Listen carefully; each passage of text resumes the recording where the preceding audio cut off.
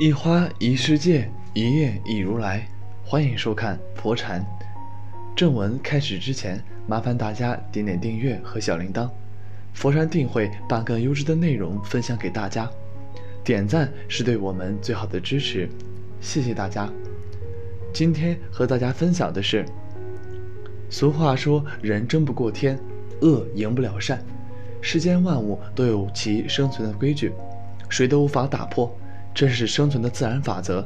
有的人作恶多端，强行要打破天规，最后伤痕累累的总是他自己。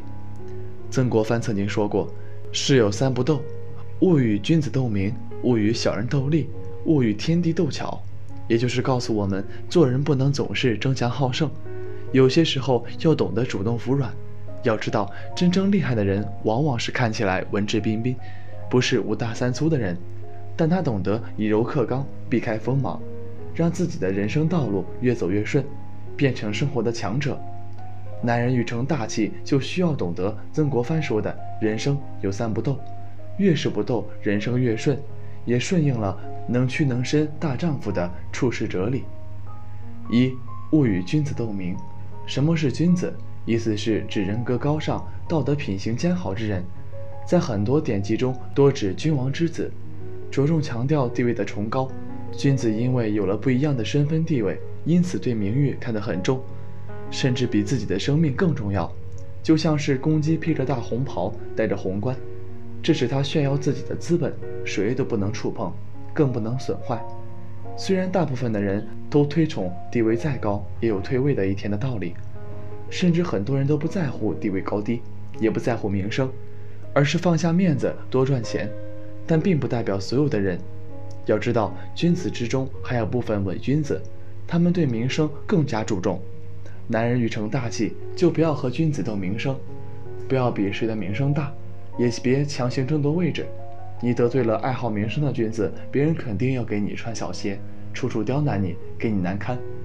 男人要想人生走得顺利，就应该别名声大噪，而是要收敛自己的名气，做卑微的人物。同时也要避开锋芒，对待真君子要谦卑尊重，向他们学习；对待伪君子就忍一忍，躲一躲，不交往便是了。二，勿与小人斗利，明枪易躲，暗箭难防。那些使用暗箭的人就是小人。小人的特征就是典型的趋利避害，吃不得半点亏。他们为了利益，可以想方设法的去夺取，什么阴谋诡计都可以使出来。让人防不胜防。男人欲成大器，就应该远离小人，而不是与小人争夺利益。特别是有些小人还很强势，你无法争赢他们的时候，更加不能争，否则就是以卵击石。现在社会，很多人都是在夹缝中生存，但真正懂得求生存的人，会从某些缝隙中找到机遇，让自己的生存空间扩大，照样可以成功。面对小人要防备，而不是与其争夺利益。只要小人对你无懈可击，你的事业就少了被暗算的可能，人生也会走得更顺。三，勿与天地斗巧。俗话说，谋事在人，成事在天。冥冥之中，你做的一切都有天意。其实，天意不是我们想象的老天爷的旨意，而是天时地利人和的综合，是自然规律。做人讲道德规矩，男人欲成大器，就应该汇聚人脉，找准机会，得到天助。才可以做大做强，凡事不能蛮干，而是要巧干。男人成大事就要顺从天意办事，就像我们说的“顺势而为，顺流而下”一样，懂得借助别人的力量办事，往往可以事半功倍。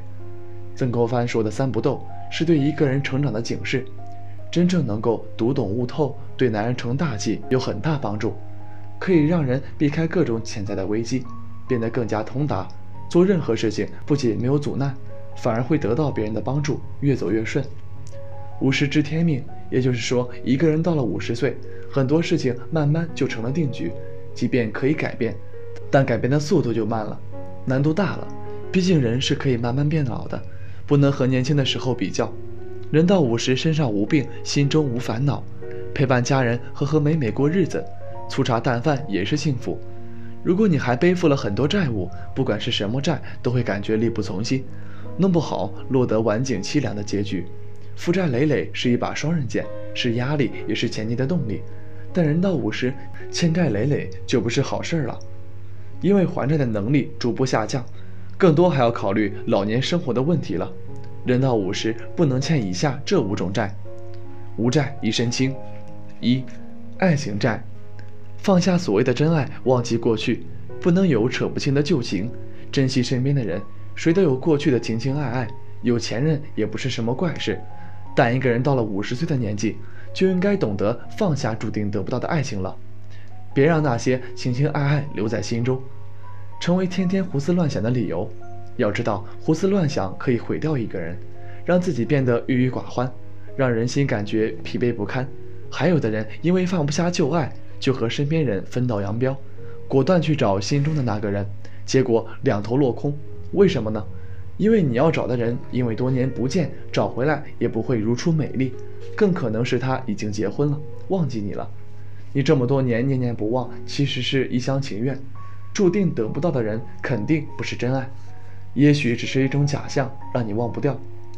曾经美好的画面，随着时间的推移，慢慢就模糊了。你记得太清楚了，是闹心。人到五十，放下爱情债，欠别人的说清楚，已经分手的彻底忘记，别去找了，好好珍惜眼前人。少年夫妻老来伴。二钱债，负债累累会压垮不再年轻的自己。手里有存款，是你老年生活的重要保障。一个人要有创新思维，要适当借钱，然后好好利用起来，让自己做大做强。特别是年轻的时候，别畏首畏尾，让自己因为经济困难，结果错失良机。人到五十就应该还清了债务的时候，也别轻易举债。要知道这个年纪了，除非你有很好的经济基础，否则你还债很困难。一来是精力有限，二来是身边还有其他的人等着你去照顾。比方说，还有年事已高的父母需要你孝顺，要花钱；身边有爱人管着你的钱，别因为钱的事情吵架；儿女愿不愿意为你负债，也要考虑，别引起了家庭矛盾。手里有存款是你做人的底气，年老了靠自己才是硬道理。有钱了，看病、养老、旅游都是轻轻松松的事情。年纪大了，手里没钱，这样的日子想起来都揪心。三孝顺债。百善孝为先，别等父母老去才追悔莫及，让自己的人生留下遗憾。父母在是福气，家有一老如有一宝，别等父母不在了再想起来孝顺谁，或者哭泣着寻找父母都太晚了。如果父母健在，就要懂得好好孝顺。人到五十要懂得陪伴是最好的孝顺，不是只是每个月给父母一点钱，或者过节的时候送一堆没有实际用途的礼物。要知道，父母省吃俭用习惯了。你给的很多礼物都会慢慢过期，结果变成了废品。尽量挤出时间和父母谈一谈心得，说一说身边的事情，了解父母需要什么，帮助父母做力所能及的事情。千万不要留下孝顺债，这是要后悔一辈子的。四儿女债，儿女自有儿孙福，你越插手儿女的事情，越欠儿女的还不清。有句老话说，儿女这辈子是来讨债的。儿女一路成长，费了你很大功夫。当你人到五十，儿女也慢慢长大了，成家立业了，你应该放开他们，让他们自由生活。每一代都有不同的思想观念，有自己的路要走。你的思想会锁住他们，你也别欠儿女债。别以为自己永远都还不清，要知道儿女是来要债的，也是来还债的。等你老了，就是儿女还债的时候。为什么你不转变思维模式呢？自由发展的儿女虽然会吃苦很多，但成长也很快，人生的成绩也更大。你别大包大揽了，你越是这样，欠债越多，你也许会毁掉他们。五时间债，留下时间做想做的事情，看想看的风景，见想见到的人。是不是你年轻的时候，还有很多想去的地方都没有去过，或者动身了几次，结果还是没有如愿以偿？还有一些理想因为谋生耽误了。曾经的朋友分别很多年，一直想去看，但是却没有去成。人到五十，时间上要变得自由了，有些东西就应该舍弃了，让自己从琐事中抽身出来，从烦恼中解脱出来。别等走不动了才想要去什么地方看什么风景。人生以百年计算，五十岁就过半了，再往前走就是下坡路了。应该慎重行事，让自己轻装上阵，越活越轻松，越活越明白。今天的分享就到这里，感谢您的聆听，期待您的留言和分享。佛禅每天为你推送新文章，希望您每天都有新感悟，在这里你永远不会孤单。